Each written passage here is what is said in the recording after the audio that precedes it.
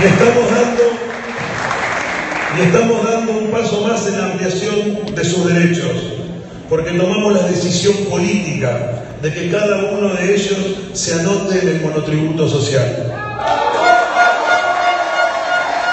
Ahora,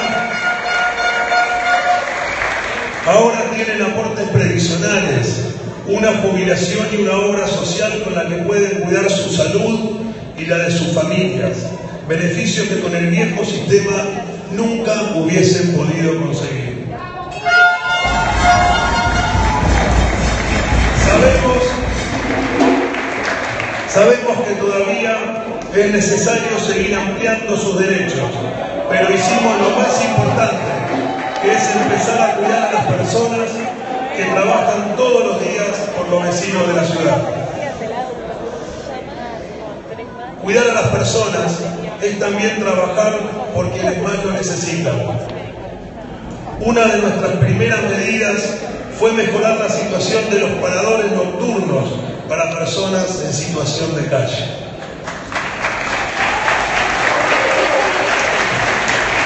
Cuando llegamos al gobierno, los paradores estaban muy mal.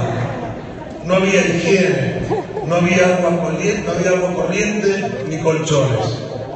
Su estado era lamentable, al punto de que no se garantizaban los derechos más elementales. Desde el año pasado, las personas en situación de calle tienen un techo digno donde pasar la noche, con los servicios esenciales y las herramientas que pusimos a su disposición para salir adelante. Inauguramos un nuevo parador ubicado en 7, 36 y 37.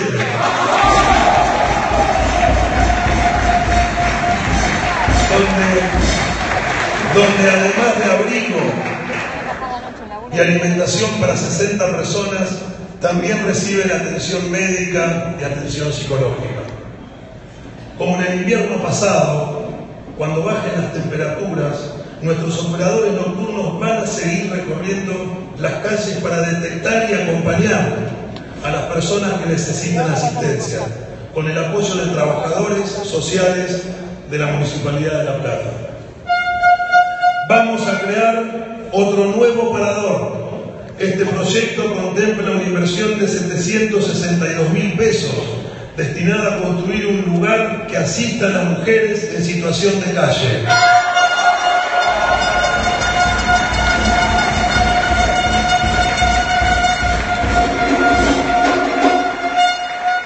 donde puedan estar acompañadas por sus hijos con una capacidad para 100 personas.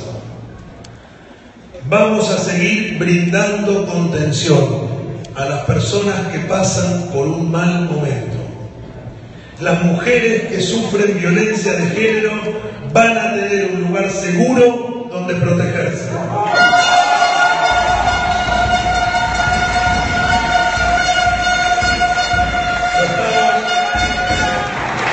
Lo estamos haciendo, lo estamos haciendo con la cautela que la situación impone, porque emprendimos, aprendimos de los errores del pasado, porque no queremos que termine siendo lo que resultó ser en el pasado. No queremos un lugar que los papeles diga una cosa y en realidad otra muy distinta. La realidad de un Estado ausente.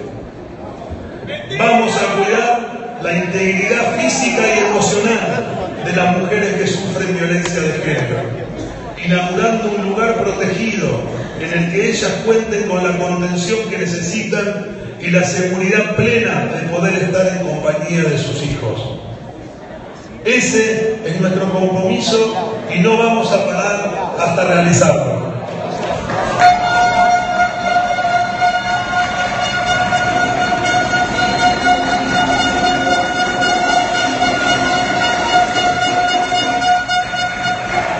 Cuidar, cuidar a las personas, cuidar a las personas es también trabajar por los ciudadanos del futuro que son los chicos. Después de muchos años de desvíos inexplicables. Silencio, por favor. Silencio, por favor. Después de muchos años de desvíos inexplicables, tomamos política, tomamos la decisión política de que el presupuesto de educación se destine completamente a educación.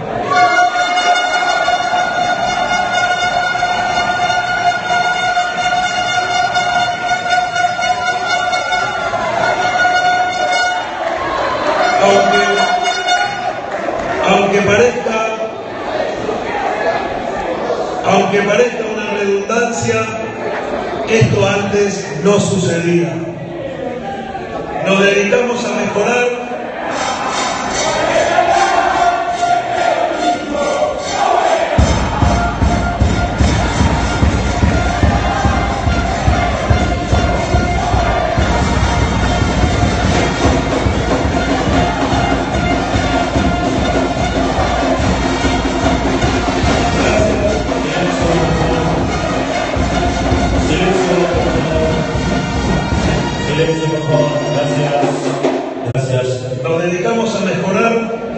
75 establecimientos educativos municipales, destinando 11 millones de pesos durante los primeros seis meses de gestión. Y construimos un jardín maternal que lleva el nombre del artista Luis Tomacero, que ya está recibiendo a 60 chicos de hasta 3 años. Trabajar por el futuro es acompañar a los chicos que más lo necesitan.